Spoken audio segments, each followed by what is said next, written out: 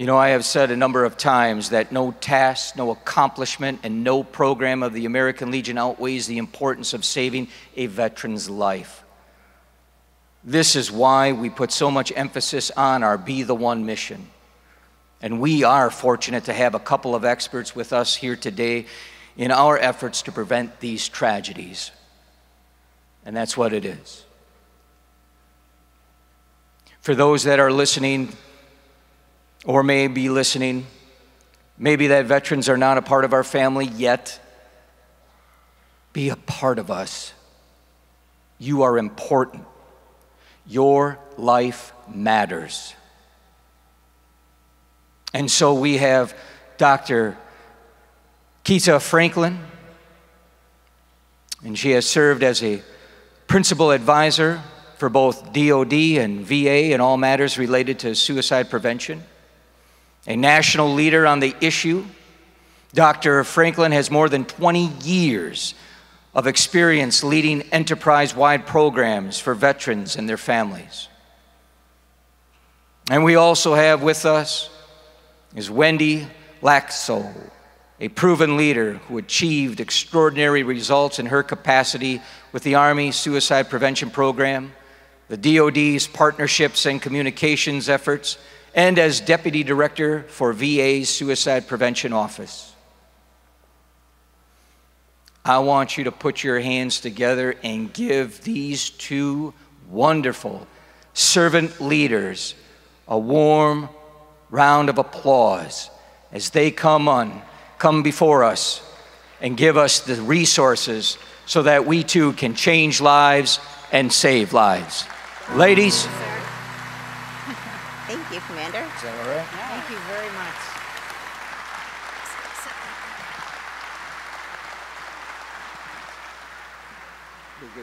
Well, good afternoon. So, on behalf, behalf of um, Dr. Kelly Posner, who is the director of the Columbia Lighthouse Project, also the lead investigator and creator of the Columbia Protocol, which you have in your hand. We are thrilled to be able to partner with the American Legion and be part of the Be the One Foundation and the solution to end veteran suicide. So I am super, super thrilled to be here. I'm Wendy Lasko. I um, am a, well, I've been affiliated with the Army family for 37 years. My husband was 30 years. Oop, did I hear anybody from the Army out there? Oh, nice. Okay. So my husband was 30 years in the Army. Our older son served for just over six, and our youngest is in cur currently in South Korea, serving today. Um, so, an Army family. True, you breed your own. Absolutely. I want to say today's conversation could be uncomfortable for some of you, um, and that's okay. That's okay. If you're feeling uncomfortable, if you're feeling maybe a little anxious, upset, if this may hit home to you a little bit, you can either take a breather and just relax at your chair or step out. It's okay to step out. But I encourage you, you guys do buddy checks. I encourage you to take a buddy with you, okay? And just take your time, compose yourself again, and come back again if, you, if you're able to. But I just wanted to uh, say that. Keita? Yes, thank you so much. Good afternoon, American Legion. We are thrilled to be with everybody today. And like Wendy, I also come from a military family. I've been pleased to serve as a government servant in um, suicide prevention, but I also, my father was enlisted in the Navy, and so I grew up on Navy bases around the nation and also married into an Air Force family as well. So been associated with the military my entire life, literally um, and could not be more pleased to be sharing this critical content and so proud of the American Legion for taking on the fight to end veteran suicide and for taking you from a place, as the commander said, from awareness to action, and that's what this talk is about today, this training. So we'll just go ahead and jump right in. I want to make sure you know that today what we plan to give you is the tools. The tools that were placed on your chair, the tools, the script, what to do, what to say, when to say it, and how to get after it. So that's what this is about today. And as we get started, I should probably set the stage so that you know what's in front of us when we think about veteran suicide. And, and I have here on the slide, and you can look at it a little bit about the data, but I want you to know that we have in our nation over 40,000 people end their life every day by suicide. And that uh, number represents all walks of life, and I'll tell you more about that. But while we're here today together at the American Legion, today, on this date, 123 people across the US will have ended their life by suicide. So at least you don't recognize what a serious problem this is. These numbers tell the story. And we know within that 123, unfortunately and tragically for our nation, 17 of those are veterans. And if we include the active duty component, we're now up to 20, 20 of the 123 a day. And that number represents just those that end their life by suicide. It does not represent the numbers that attempt suicide or the numbers of people across our nation that are having thoughts of suicide, what we in the clinical field call ideations. They're thinking of suicide, which is also an indicator that we'll talk more about today. So, suicide is the second leading cause of death for young people across our nation, particularly for veterans under the age of 45. And there are a number of other high risk categories that we'll talk about. But I want you to know how serious the problem is. And obviously, the American Legion would not be as invested as it is um, with Be the One campaign. I agree that this is the the differentiator coming to the field, having worked in the field for many years, this is a big differentiator being able to get in front of all of you today and give you the tools to walk away to save a life today, this afternoon, this evening.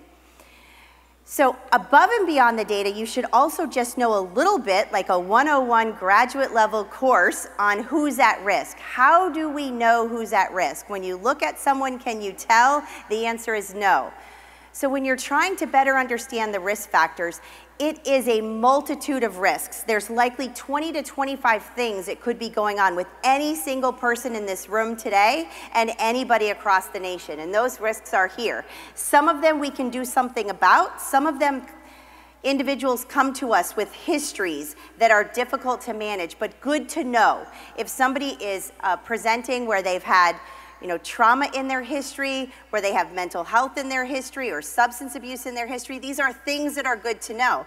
But within our veteran population and our active duty population, not every service member or veteran that ends their life by suicide has a mental health problem. And I think that's what's um, been a, a, surprising data point for the field and why it's so important that we're here today. For years, we tried to prevent suicide in the hospital settings. So for years, we in the field, we waited until people came to us in the clinic setting, and, and then we tried our best to save their lives. But many never made it to the clinical setting, which is why we're now trying to take the content on the road and equip Legionnaires across the nation and many others with the tools to get after suicide. Other risk factors include relationship problems. If you're interacting with a veteran that has an on again, off again boyfriend, girlfriend, marriage, divorce with another, parental issues, mom, dad, brother, sister, relationship problems across the board that are fragmented, that is a high risk. If we have a veteran that is struggling with feeling like they belong, that is another high risk situation. Veterans that are isolated and lonely, these are your risks. And you in your mind, when you're thinking about the risks, and I'm rattling them off rather quickly, you're cranking up your risk dial on every risk you know. And you're thinking through how much is going on with this veteran in front of me? How many stressors do they have? Are they recently unemployed? Did they recently get in trouble with the law? Do they feel a sense of falling from glory now because they've maybe had a DUI and they're they're also leaving the military that same month and they're transitioning out. That is a high risk time. So it's really the multitude of all of these risk factors that create this swirling effect that really become a overwhelming situation for veterans where they start to feel a sense of burdensomeness on their family, on their unit, on their community. And we're trying to relieve that feeling and let them know that there's hope and that there's help right here in the American Legion and across their community, across the nation. There are resources available. So it's good for you to know today what these risks are so that you can begin to get to know one another at an even deeper level than you already do and understand what you can do to grow some protective factors. Because really, it gets to the point where the risk factors become so high And there's often a moment of impulsivity that I think my colleague will talk more about that becomes difficult to handle. And what we're trying to do is grow what we in the field call protective factors. You know, I led behavioral health for the Marine Corps for a good number of years, six years during the heat of the war effort. And the Marines call it mitigating factors. Like, what do we do to mitigate all these risks? Do we make sure people feel a sense of belongingness? Do we show them empathy and compassion and kindness? Do we get them to mental health care when they need it immediately? Do they know about the 988 crisis line so that they know they can make a call 24 7? Like, what resources can we bring to the fight in such a way that they feel protected from all these risks? And that number one resource is likely you. It's like, sign me up, I want to be the one. Like, it is all of us in this room today. So, what we're trying to do is build protective factors to balance out the risk factors in a way that people realize that they have a life worth living and that there are reasons for them to be here today, and they are one of our own. They are important members of our group and our society, and, and we want and need them. So that's just a little quick 101 on numbers, prevalence rates, data. For those of you Legionnaires that like data in the room, how do you know who's at risk? It's not mental health alone, it's a host of other life things. And I want to transfer it over to my colleague, Ms. Lasko, so she can share some more about our approach. So our approach is a community health approach. Who's heard of that before? Or a public health approach? Okay, great. I see a couple of hands. It is hard to see. These lights are quite bright, I will say, but I can see a couple of hands in the audience. But I will say it's about getting into our communities, right? Teaching others um, the signs, the facts, things that people are seeing, the risk factors of suicide, and what to do, right? So we're here to teach you those tools so you can go back to your communities and you can use your tool on somebody else who may need help. There's nothing greater than helping somebody else, right? Can everybody agree to that? There's nothing greater than helping somebody else. I truly believe that. So if we can take these really valuable tools back to our communities and integrate it, we're here to do. Um, this community health approach, we, we hear so often that veterans don't seek help for so many reasons, right? Fear of, um, of being seen as broken. Um, there's a huge stigma out there, and we know that. So that's why we're looking at um, everybody here, the Legion, you know, all your Legion members. We're looking at all of our communities, other VSOs, as part of the Face the Fight Coalition, which we're part of, um, and really trying to understand suicide, the risk factors, and get them in, and what to do. Let me move that. So, what we've said for many years, Keita and I worked together for a long, long time, and what we said for many years is we want to find our veterans where they work, live, and thrive. And where is that? In our communities. But it's also on our public transportation. It's in our parks and recreation. It's in our gyms, right?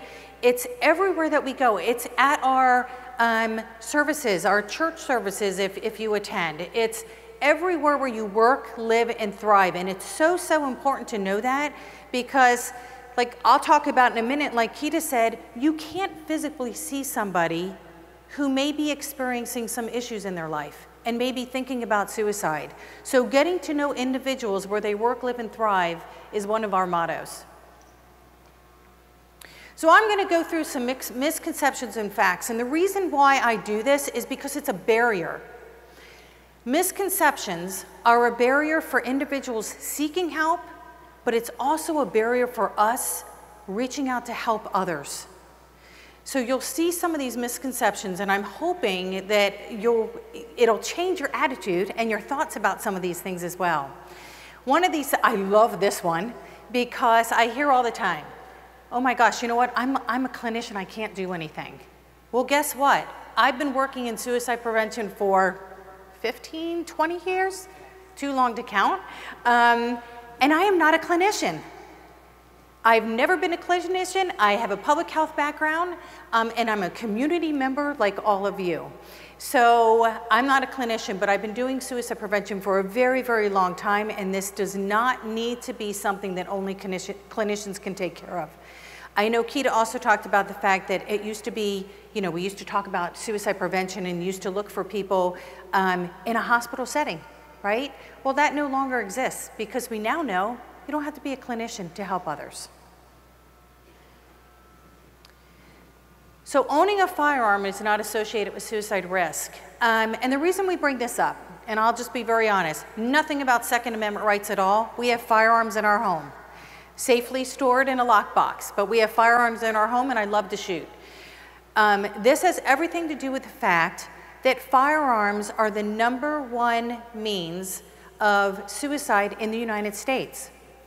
I was just in the UK and what did I talk to them about? Can anybody throw out a reason, uh, uh, something that I talked to them about that wasn't firearms? Bridges. I talked to them about bridges and what they can do to keep people safe with their, with their bridges. And I did that because that's their most lethal means of suicide within the UK, is people jumping off of bridges. In Indonesia, it's pesticides. So if I was in Indonesia right now talking, I'd be talking about pesticides.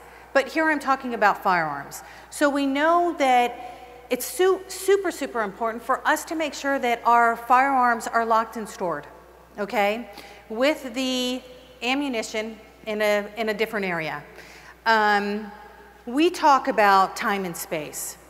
And what we mean by that is that, and there is data to prove this, is that if we're able to give or, or separate ourselves from our firearm when we are having issues or mental health issues or feeling vulnerable, then that gives us enough time, time and distance, or time and space to be able to think about that, and it does stop people from taking their lives.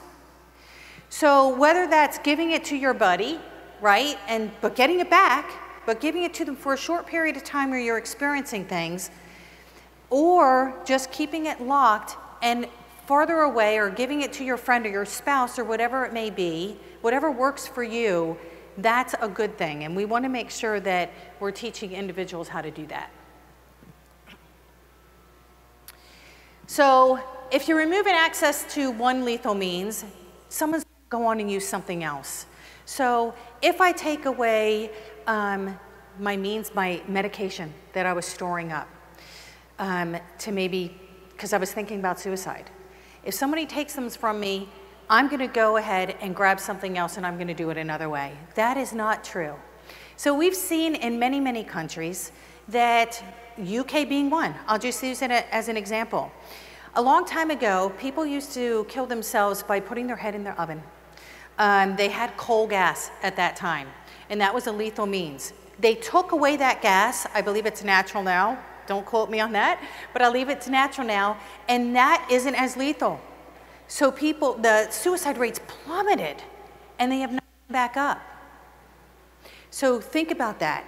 Um, if you take away a means, people aren't gonna aren't more aren't apt to go ahead and use another method. Suicide is impulsive most, up here when you look at this data, 25 to 40% of people think about it and end their life within five minutes. Five minutes. I can't, I mean, that is such a quick period of time. And that's why when we talk about integrating suicide prevention activities, we talk about it because people aren't suicidal. It's not a straight line. They're not always suicidal all the time, right? Like our emotions, our emotions ebb and flow. So same thing. People are suicidal, people are thinking about suicide and it comes and goes, right? It's not a straight line. So, um, but we have to realize that it's a very, very impulsive act. And we have to constantly make sure that we're vigilant. You have anything to add to that, Keita? Okay, just making sure. Jump in if you need to. Um, so talking about um, uh, suicide is going to lead or encourage somebody to, to die by suicide. So I'm going to tell you something. Um, I don't know how many of you attended the Be the One symposium. I wish all of you did. It was phenomenal. Um, Waco Hoover put together a very, very good lineup of thought leaders and individuals, veterans were there, I mean, who really talked about their situation and lived with lived experience. It was, it was great. But a colleague and friend of ours was also there. His name is Kevin Hines. Has anybody heard of Kevin Hines in the, in the audience? I'm trying to see if I can see any hands. I don't see many hands, if any. Kevin Hines is one of just a handful of individuals that jumped off the Golden Gate Bridge and lived. And have, how many of you have been to the Golden Gate Bridge? Okay, I see a lot of hands now. So think of this story, because I'm going to tell a little bit of a story, um, because I can't fathom this. So Kevin tells the story about how he's standing on the bridge. You know, he is profusely crying. I mean, tears are streaming down his face. So if you can picture it, these tears are streaming down his face and he's crying and he's standing on the bridge and he's like, you know, he's not he's not wanting to jump and he's, his mind's playing tricks on him and he, he, he doesn't know what to do, but he's, so, he's struggling so much. This lady comes up to him with a group of friends because there's a lot of tourists and visitors that walk across that bridge. And she comes up and she walks over to him and he's like, you know what? She's going to ask me if I'm okay. I, I, I'm going to be good. I'm going to be good. She's going to help me. She pulls out her camera and says, Can you take a picture? Again, tears are streaming down his face. He turns around. He's like, Sure. Snaps a picture, gives her the camera back. She doesn't say a thing. Off they walk. Not 30 seconds later, he jumped off the bridge. So, I guess the moral of that story is that we have to make sure that we're talking to people, that we approach people, that it's okay to talk about suicide. Because he talks about the fact that if he, if she would have said something, he would not have jumped. Okay. Um, Keita touched on this a little bit. And you know, we have a colleague uh, who talks about his story too. When he was coming up, he's a social worker. When he was coming up in the learning how to be a, a good social work, social worker, they taught him that you could physically see people who were suicidal. That people who were depressed or they were crying or they had, you know, some issues or acting out or, you know, you could physically see it. We would have missed, and he regrets that because he missed more than 50% of the individuals that could really be at risk, right? So he was missing so many people out there that are struggling. So over 50% of individuals who die by suicide do not have a mental health illness, do not have a mental health illness. But it's a lot of these other factors that Keita had talked about that are so important to pick up on, right? Okay, I'm turning it over to you. Yes. And one of the things that Wendy was reminding me of as we were talking about Kevin's story is just for you all to think about ambivalence. What we see is going on, and what was going on for Kevin that moment is moments of ambivalence where they want to die and then they don't want to die, and they're doing a dance in their head. Want to die, don't want to die. And this is the importance of us being able to enter the equation and help them and a small act of kindness and being the one can be what it takes to at least get them off the bridge. I'm not saying that you're deputized as a therapist or you now have to do all this outrageous sort of things. No, you're just getting them an inch or two back off the bridge until we can get them more help. And we saw this play out also uh, on the national stage. Um, Kate Spade died by suicide. Anthony Bourdain died by suicide.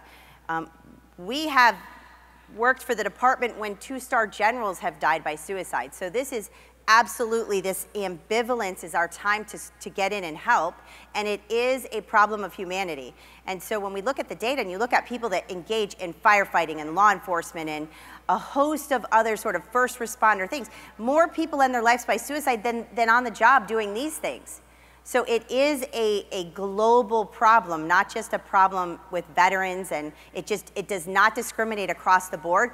We in the field um, emphasize certain subpopulations that we know are at increased risk, but I don't want your takeaway to be, okay, so we only have to worry about those subpopulations, because as soon as you turn your eye from the others, you, you will be surprised and we will get a fatality report of a veteran that doesn't fit in those subpopulation groups or, or an American.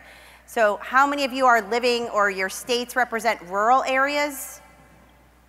Rural areas? Okay. Oh, yeah, there's quite a few. Quite a few. This is a high risk area. For all the reasons that you all probably know better than me, I, you know, I'm living in Northern Virginia now.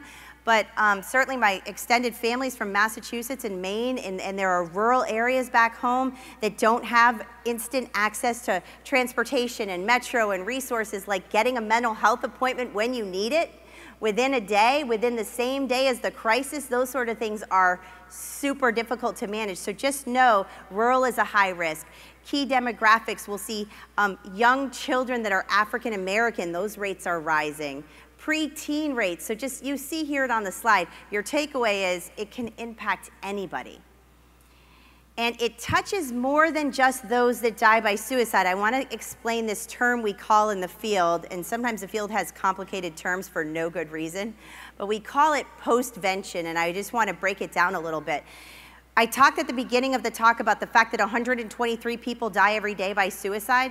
When one person dies, we know that 135 people have been exposed. And that number comes from people who study people's social networks. So in the day, I came into the field in 1994. I started my federal career with service members in July of 01, right before 9-11 hit. And at that time, years back there was it was seven people that were impacted and they use the word impacted. We also say affected but now it's thought about as you've been exposed. Like imagine you've been exposed to cigarette smoke or a chemical. It doesn't leave you. You know i know any of you in the room that have if you're willing to share responded to someone who's been at risk of suicide? Some shows of hands. It doesn't leave you. You remember that don't you you remember the person, you remember the case, you remember what they said, what was going on for them. It doesn't, you've been exposed. Well, now I want you to know when you've been exposed, you're also at risk.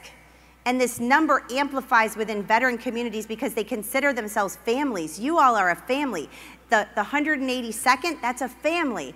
You know, the, the the Navy submarines that my father was on, that's a family. He wears those hats, you know, the USS Bremerton, the USS George Washington. That was a family. So when one of their own ends their life by suicide, 135 are now impacted and at risk because they can see themselves through the eyes of their fellow veteran and they may begin to think, well, that person has the same set of problems that I have. Maybe that's an okay way for me to solve mine as well. So this is how the numbers start to have a ripple effect in the field. So when I, we would get asked this question in Congress, like, why are the numbers so high when we would testify?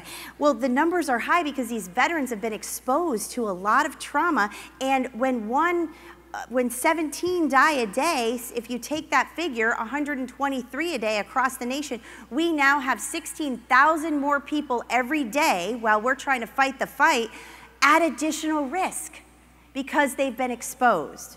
It doesn't mean that they will immediately go end their life, but if they have been exposed and have all those risks I've talked about and have depleted their protective factors, that's the trifecta or the equation that becomes difficult.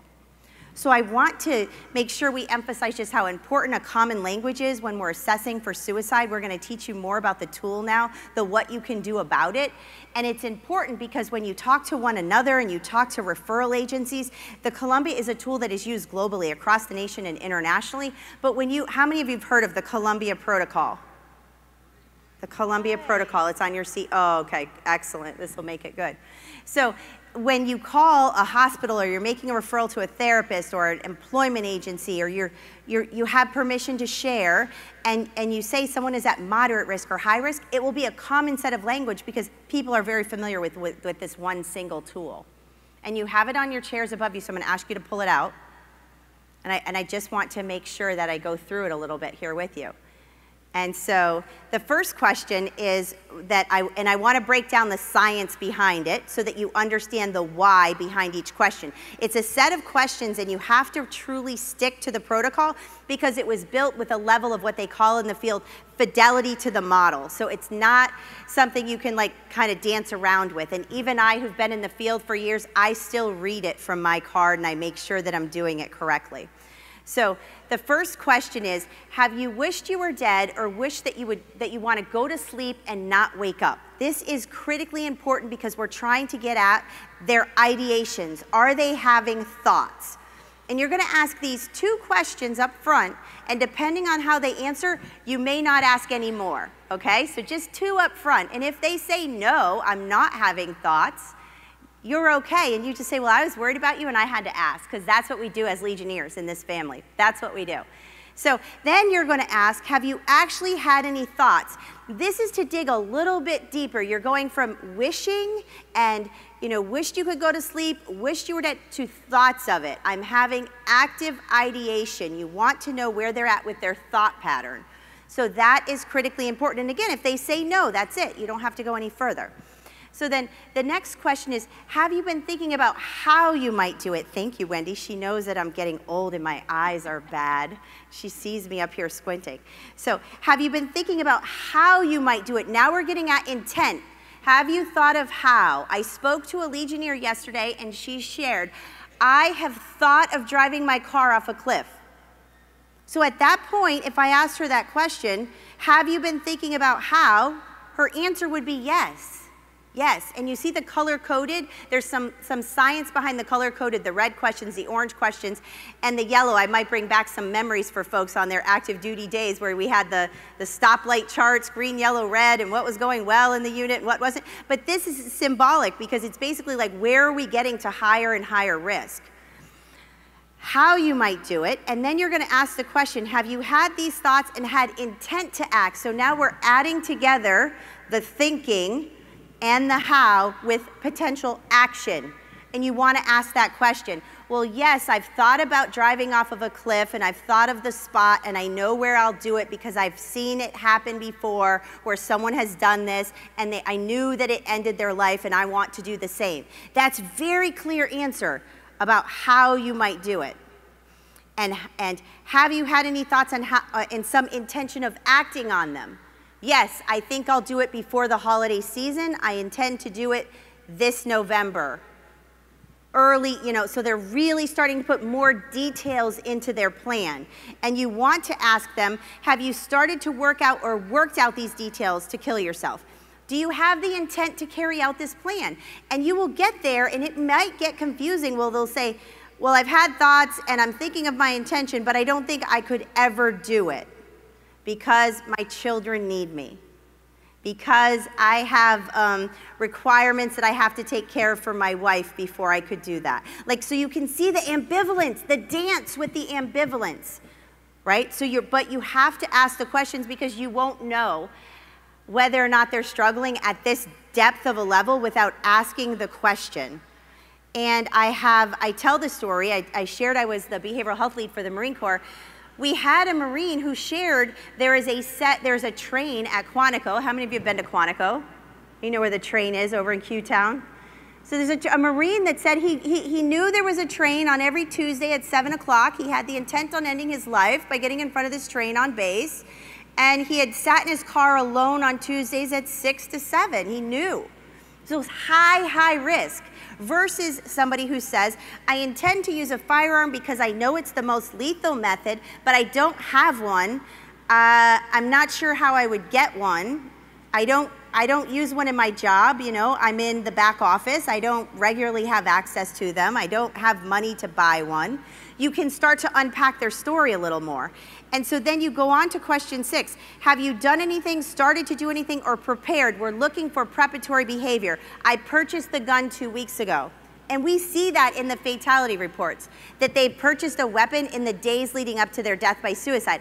I have been collecting my pills from the VA, and I've not been taking them because I know on this date I'm going to take them all. Like this is preparatory behavior, right? So you want to know have, if they say yes, Have they done this within the past three months? We're looking for the recency factor. I do see in our completed suicide reports across the nation that people have made an attempt in their past and maybe an attempt at 15, an attempt at 25, an attempt now at 30. And so a, a, prior attempt is a high risk situation, but if they're having this preparatory behavior in that three months, it is very high risk. So I want to make sure that you're comfortable with the questions. I encourage you, and we got to do this yesterday with the auxiliary group, to practice with each other, have conversations. You heard from Wendy that it is it does not plant the seed. If, if you ask your colleague here, are you thinking of, uh, you know, if asking a question about suicide will not give them the idea. So practice it with each other because it's not easy. Um, but once you get the hang of it, it's possible because saving lives is absolutely possible. Suicide is, is a preventable issue. It is not something that we just have to take in our nation. It is not like, a, a, it should not be part of our everyday life. So I want to turn it back over to Wendy. See if I'm doing this for you. I'm pressing it. Oh. Gotcha. Okay. Yeah. So how to ask the question really matters. Like Keita said, she went through in that sequence, right? It's very, very important to make sure you do the same thing, that you use that sequence. And I'll tell you, it's scary. It's scary. So just to normalize it, it's not an easy task to do. Um, but we're gonna give you a little bit, let me see, it's not going here. We're gonna give you a little bit, okay, of information on how to do this, right? So, your mission. When you are caring for somebody else that you think may be suicidal, you want to make sure that you're keeping that person safe and in front of you, right? Um, you want to do that and be be present. And I can't say that enough. You'll see this on another slide too. Be present. It's easy, very, very easy when you think the next person or the person that you're talking to may be suicidal. It's very, very easy for your mind to start going, right? Oh my gosh, if I ask them the questions, the Colombian, go through that, what are they gonna say? And then what am I gonna do? I've been there. I've done this many, many times. And it does get easier, but I still try to keep myself in the present, right? And listen to their story. And if you do that, you're going to leave also a good impression. So that person will come back to you and they'll thank you. And they'll also come back to you if they need additional help. One big thing, too, that was on the previous slide I failed to mention is that when you listen to somebody's story, you need to take care of yourself. You really, really do. Because sometimes the story is complex, sometimes it really hits home, Sometimes it's very, very sad all the time, right? So take time for yourself afterwards. It's good self care. It's good self care. Um, and we please, please do that. Whether it's calling a buddy, just taking the rest of the day off, taking a walk around the block, whatever works for you, that's very important to do. So, again, I talked about staying in the moment and staying present, right? Listen to them. This is not a time to tell your story. And I say that just very nicely to everybody because that's an easy thing for us to do.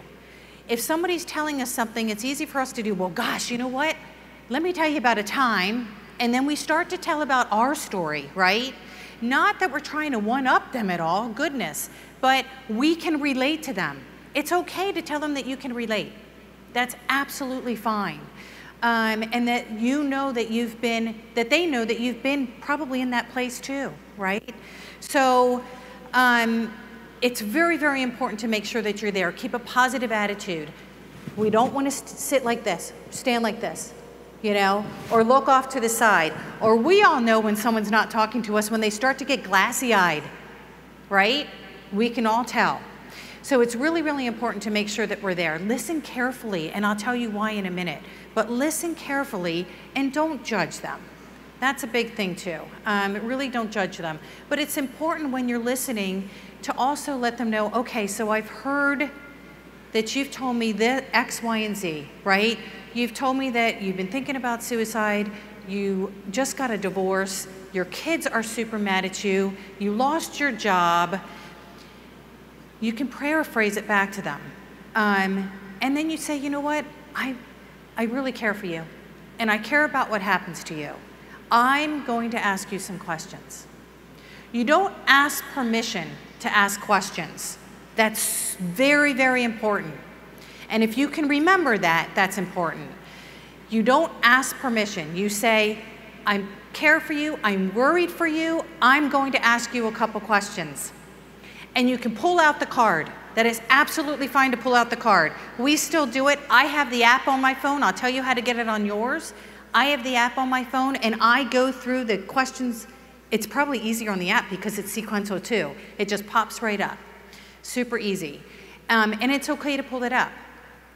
And then if they do say that they, if, you do, if they are um, at risk, even if they're not at risk, but they're struggling, you're not going to just say, okay, great, you know, and then move on, right? You're still going to try to get them help, whatever that is. Hey, can I call a friend for you? Do you have somebody that you feel safe with? Can I just sit here and talk with you?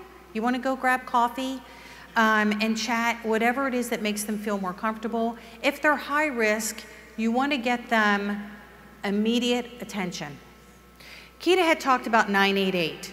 988 is our national um, mental health and suicide prevention uh, call, call line. It's like 911, but it's 988. Who's heard of that?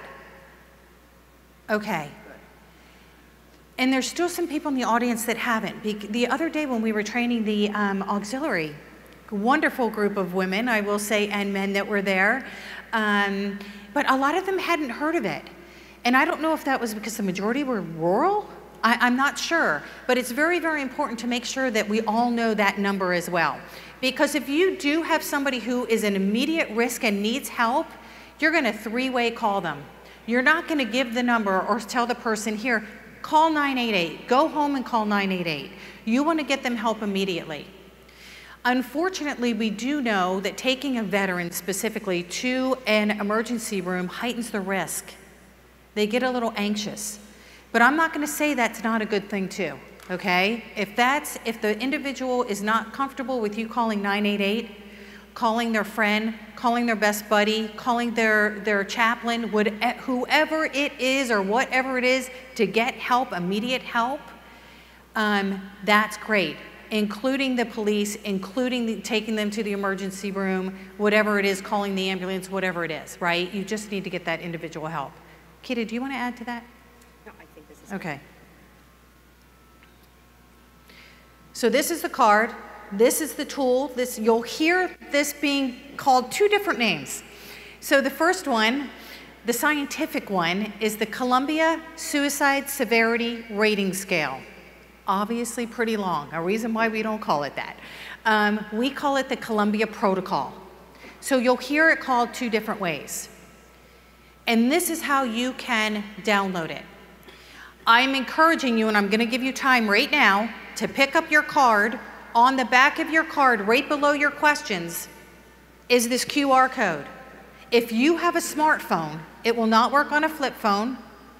If you have a smartphone, open up your camera, hover over either the Android or the iPhone, the Apple, and a link will come up. I think it's kind of, I think it's orangey, but a link comes up. Click on that link and it'll download. I'm going to give you just 30 seconds to do that. And I'm going to go back later on and ask about the data and see how many of you did it. and I'll report back. So, but it's important to have that. And it's okay to pull out your phone and use it.